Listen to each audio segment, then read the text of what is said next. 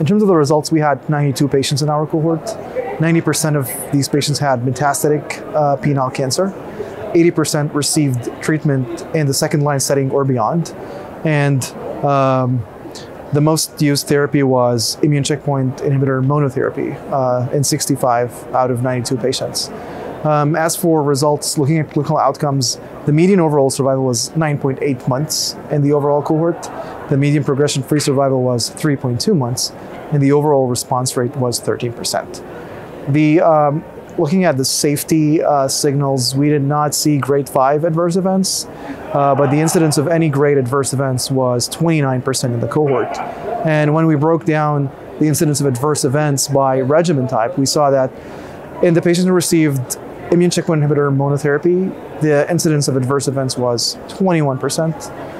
That number increased to 31% with combination anti-PD-1, anti-CTLA-4 immune checkpoint inhibitor. And that went up to 75% in patients receiving a combination of anti-PD-1, anti-CTLA-4, and TKI. Um, and those are the main results of our study.